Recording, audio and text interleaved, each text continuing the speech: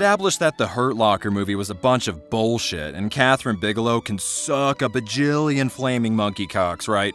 Okay, just checking. Because the way I see it, a movie about an EOD tech that doesn't include at least 7,500 hours of footage of said tech doing paperwork, sending and receiving emails, converting three line emails into PowerPoint slides, and praying to Christ that Outlook doesn't go down again for the umpteenth time today, well, then that movie is complete bullshit. And we don't stand around crying in showers, we jerk off in them, just like every other red blooded American hero should.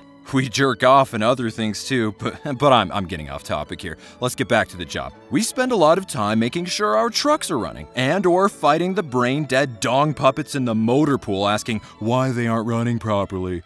It's always a bad time when an LT calls. You see that number come up on your cell and you just wish to God that it were a telemarketer, your cell company calling to bug you about your bill, or, or even some creepy old hobo dude calling your number by accident from a payphone, describing the dump he just took while jerking off in a Denny's parking lot.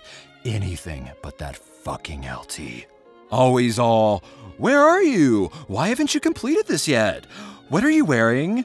Uh, okay, well, not exactly, but the calls are pretty fucking gay, so they might as well be.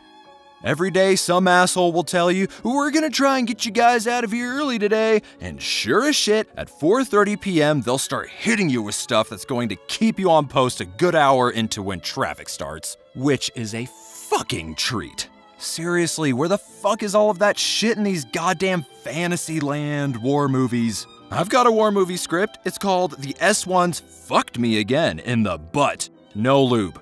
It's like a porno, just with a dude screaming at Monglotard pogues for not doing their jobs correctly.